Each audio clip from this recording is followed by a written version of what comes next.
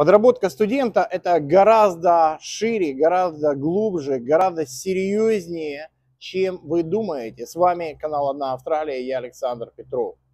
Подработка – это возможность зарабатывать деньги, вы думаете, и, соответственно, поддерживать себя во время учебы, то есть оплачивать эту учебу, оплачивать ваше проживание, все ваши хотелки и желалки, и и, в общем-то, зарабатывание на дальнейшую вашу миграцию в Австралию, все это так, но это не совсем так, и это гораздо шире.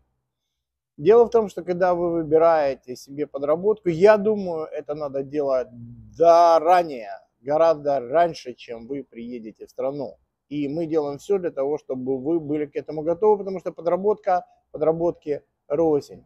Есть грязные работы, на которые, ну, я не знаю, кроме каких-то людей а, не очень образованных или очень необразованных людей, которые кроме какой-то физической нагрузки ничего делать не могут. В этом случае, да, вы будете конкурировать с ними, и вы знаете, они, в общем-то, работящие, и, соответственно, даже на этой нише, ну, не так легко. Особенно во времена, когда с работами, скажем так, не так а, весело и просто, как сейчас.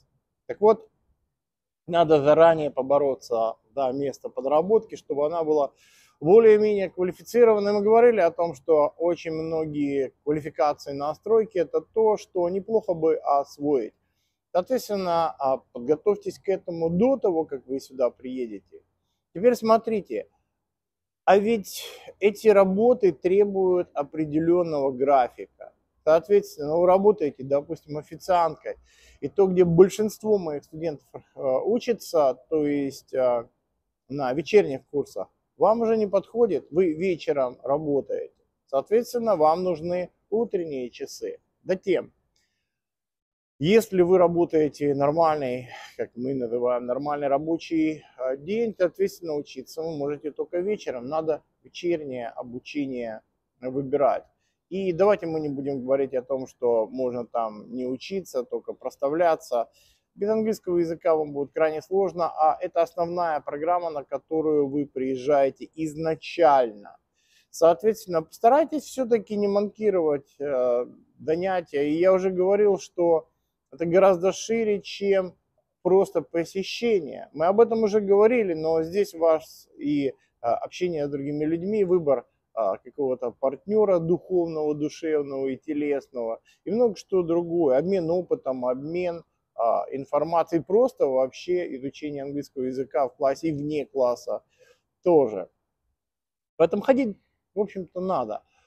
И а, локация тоже будет зависеть от места вашей работы. Если мы видим, что вы слишком далеко от сети, может быть, стоит выбрать другую работу, а может быть, стоит выбрать другое место обучения. К сожалению, вот второе не очень возможно. У нас по географии практически все умещается в Сити, а в Сити, собственно говоря, локация не так важна. Короче говоря, вам надо выбирать место работы а, так, чтобы это было в шаговой доступности до транспорта, а скорее всего до электрички.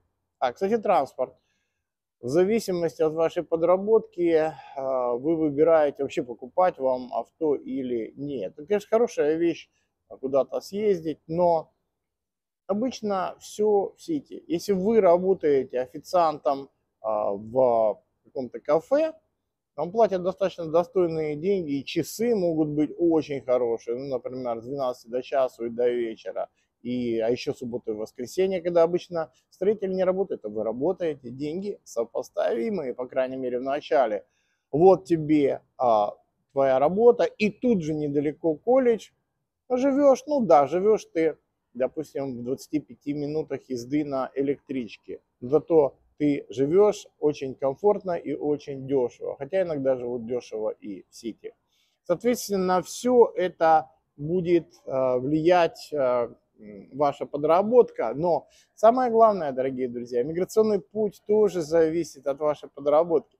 Подрабатываете вы плотником. Уже сколько было а, примеров для людей, особенно для пар, когда выбирались э, какие-то образовательные пути для женщин, а мужчина работал плотником и оставлял семью в Австралии, я имею в виду, оставлял иммиграционном плане, вот, не бросал семью, конечно, а в иммиграционном плане они оставались в стране.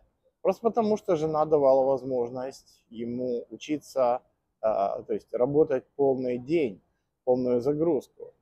И а, именно такая работа, даже без надежды на спонсорство организации. Зачем? Три года фултайма с соответствующей сертификацией до этого, и ты получаешь свою заветную 190-ю визу спонсорства штата. А есть еще какие-то там региональные 491, 494 визы. Вообще есть несколько других типов виз, а не только 186. Ну и 186 неплохо. Кстати, на будущее вам скажу. 482 не очень хорошая виза. Это рабочая, но это не иммиграционная виза. Позволяет просто набрать вам, зацепиться за Австралию и набрать вам а, опыта. Но то, что вы отдадите за эту визу, это сопоставимо с вашим обучением. Там 4000 и там не меньше. Поэтому, поэтому отсидеться лучше все-таки на а, визе партнера, то есть на визе вашей жены или мужа, и, соответственно, зарабатывать. Таким образом, дорогие друзья, отнеситесь серьезнее подработки, выбирайте варианты и готовьтесь к ним, потому что здесь уже не будет времени на раскачку. Здесь учеба, работа, пополнение бюджета, иммиграция и дальнейший светлый путь. И я желаю вам удачи, я желаю вам самого главного, подписки на этот канал и а, активности на этом канале, потому что ваша активность дает идеи для следующих роликов.